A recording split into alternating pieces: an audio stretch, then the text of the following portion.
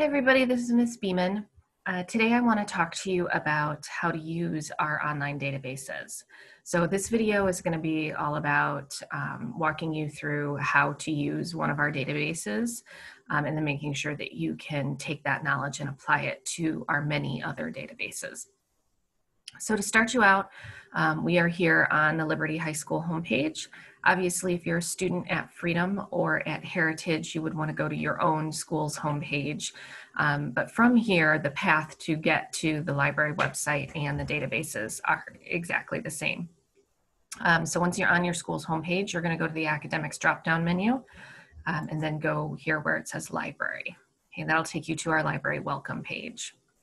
From here, I just want to point out real quickly that if you scroll down a little bit, uh, we have a chat function right here on the welcome page where you can chat with me anytime during school hours from 8 in the morning till 3 in the afternoon. So if you are trying to use a database and you have a question, this is a great place to go to ask if it's during the school day. If it's not during the school day, um, you can always email me. And if you scroll down to the bottom of our welcome page, you'll see my name and email address there, and I'll get back to you as soon as I can with an answer. Okay. All right, so a couple other things I want to point out. Over here on the right side of the page, you can see, you can navigate to all of the different pages on our library site.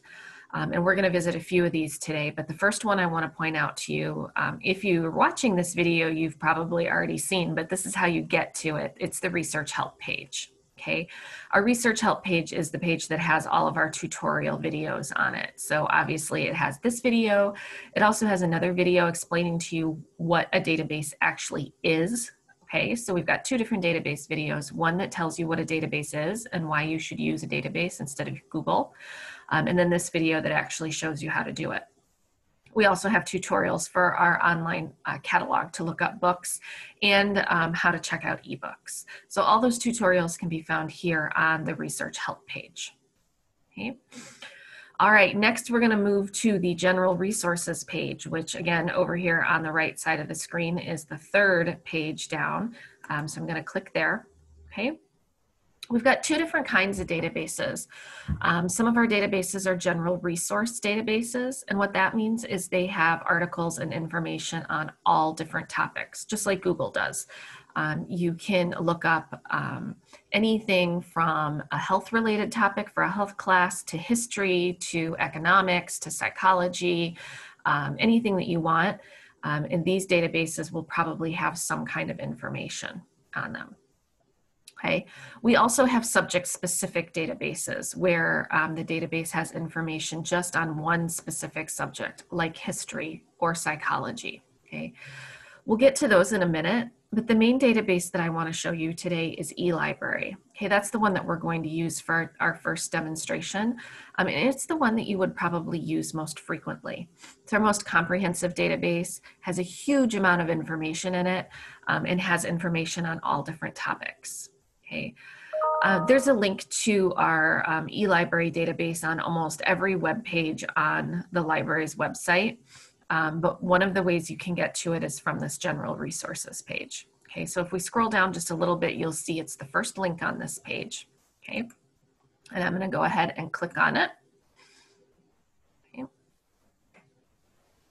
Now, you'll see that if you are um, not on campus, it's going to ask you for a login and a password or a username and a password. It wants you to prove that you are a student at one of our schools because we actually pay for you guys to have access to these databases. Okay. So the username and password it's looking for um, is not your email address or your student ID number and your uh, birth date, which is what you usually use to log into things. For this, we all share the same username and password. Everybody in the district uses the same one. Okay, so you can see I have it saved here on my computer. My username is LUHSD library. That's the one we all share. And then the password, um, unfortunately, I can't give to you on the video because I have to uh, keep it password protected. I can't put it out on the public internet.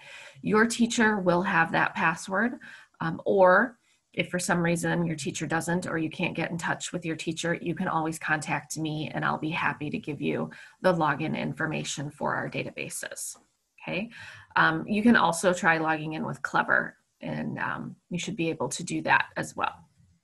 Okay, so I'm gonna click on the login and it should log us right in. And from here, you'll see that a database looks and works pretty much like Google does, okay?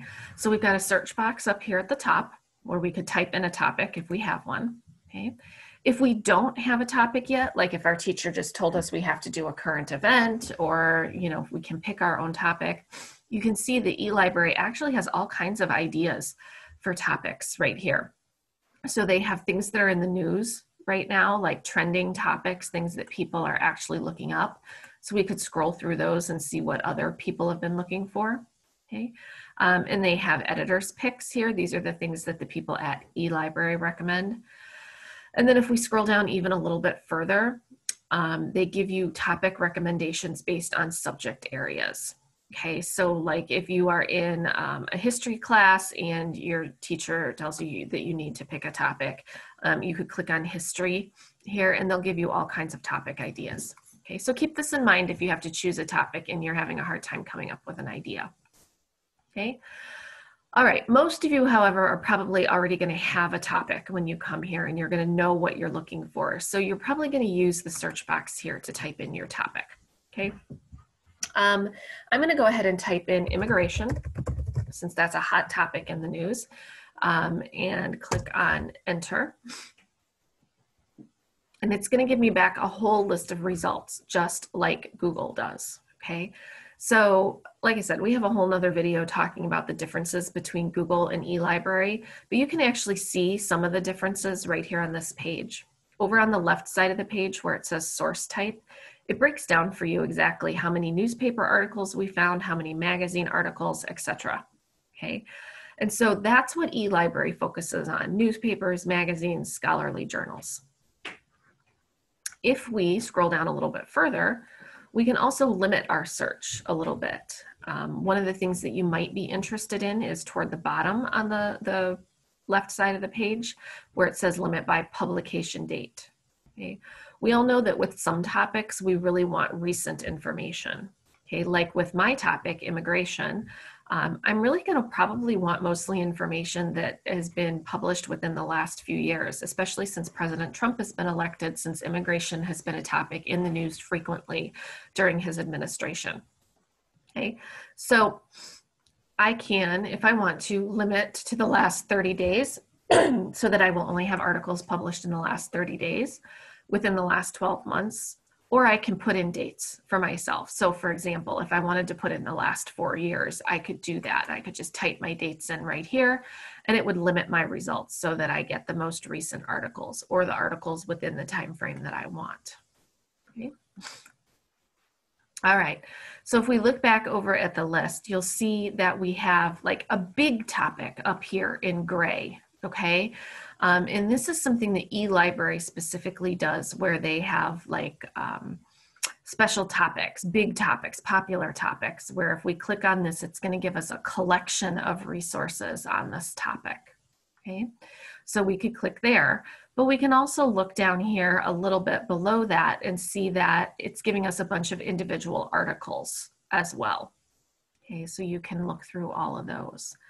Um, also, please note right here, just like Google, um, underneath our sort of special topic page here, um, there's a collection of images. And if you look over on the left side of the screen under source type, you'll see that images is one of the source types. So just like with Google, you can do an image search on eLibrary. So if you're looking for pictures, um, in addition to your facts and figures, um, you can get that on eLibrary too. All right, so I'm gonna go ahead and click on the special topic, immigration. Okay, and it's gonna take us to this collection of resources on this topic. And you can see up here at the top, it gives you the contents, it gives you the history of the topic throughout history, it gives you a gallery of images, it tells you about the controversy, and then gives you a couple of different uh, more specific topics underneath immigration. In this case, illegal immigration and immigration economics. Okay. So this page provides kind of like a starting place that gives you some general information on the topic, which is awesome if it's a topic that you don't know a lot about. This is where you can go to get some basic information. Okay. And then if you scroll down, it sees it gives you the throughout history. This is immigration history here. Um, and there's your gallery of images. Okay, here are your controversial articles. Here are your, your articles in your graphs and pictures on illegal immigration. Okay, so these are all the things that we saw up there at the top of the page. Okay. Um, if we see something here that we really want to look more closely at, for example, if your specific topic has to do um, with Chinese immigration, okay, we could go ahead and click on one of these articles.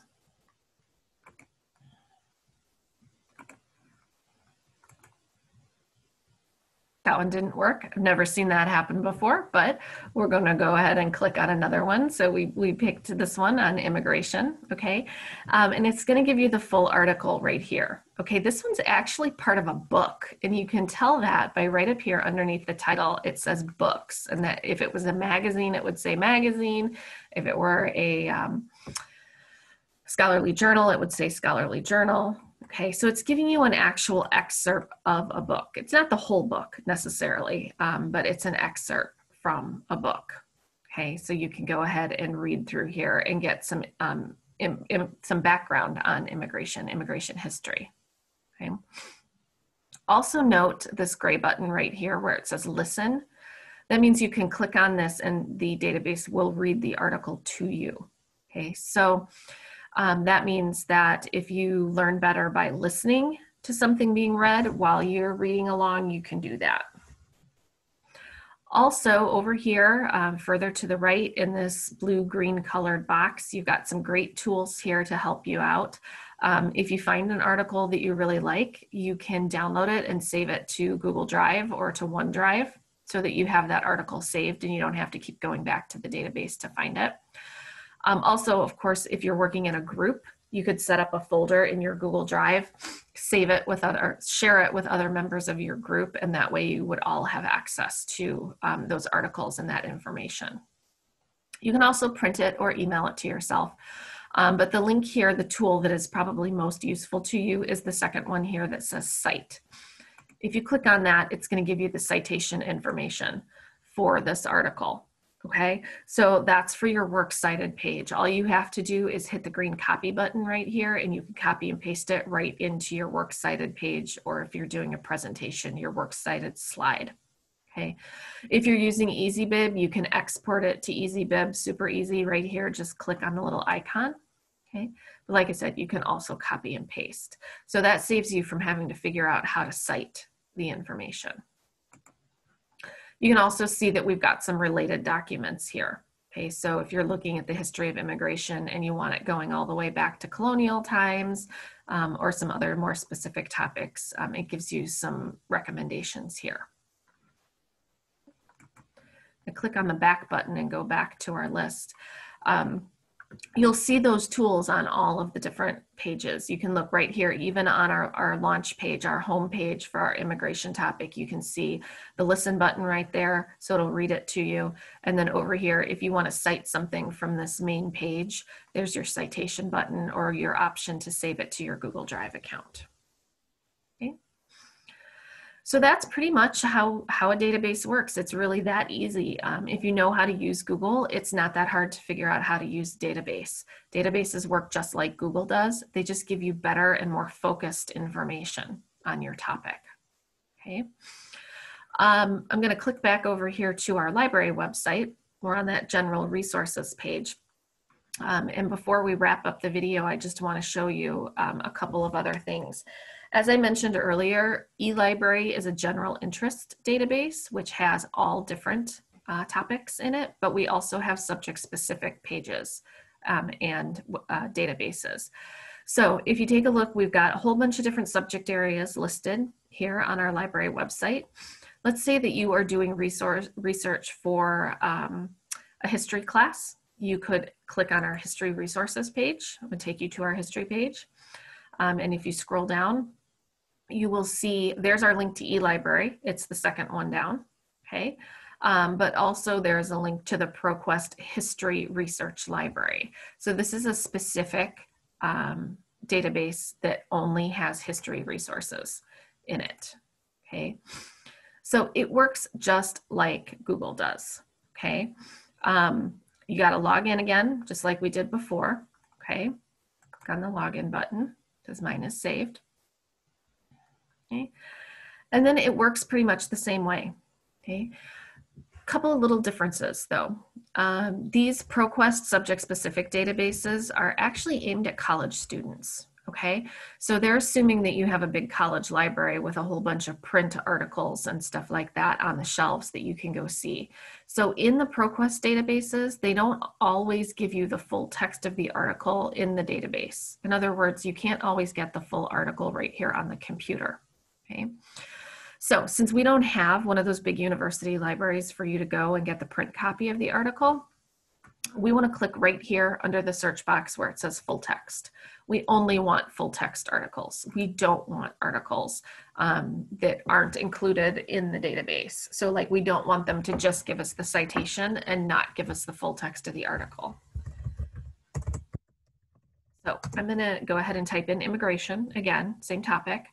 Um, got back a whole list of results and you'll see this looks pretty similar to um, how eLibrary looked. It works exactly the same way. It has exactly the same tools. Um, you just have to find them. They're in a slightly different place. Okay, so you can see over on the left side of the screen all of our different source types. Um, if you scroll down, you will see where you can um, limit by publication date, just like we did in eLibrary. Okay, um, if you click on one of the articles, you will see you have the same options over here in the upper right side where you can get your citation, you can email it to yourself. Um, if you click under all options, it gives you um, the option of saving it to your Google Drive, just like we did in eLibrary. So you got all the same tools here. You just have to maybe take a minute to find them. You've even got other related items and that sort of thing.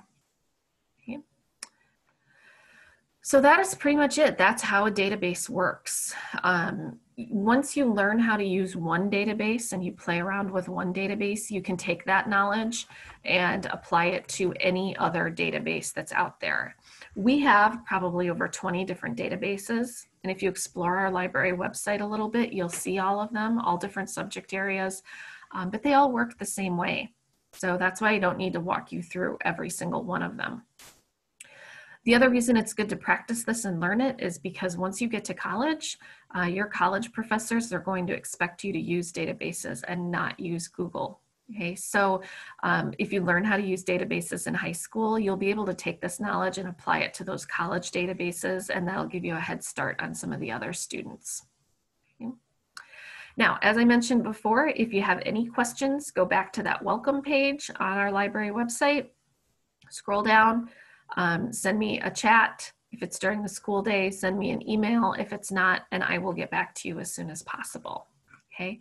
Also, be sure to check with your teacher or with me, and we can give you a handout that breaks down step by step how to use all of our different databases and includes the logins and passwords for them. Okay, so you're going to want that handout um, if you're going to be using our databases. Yep. All right, I hope that was helpful to you and have a great day.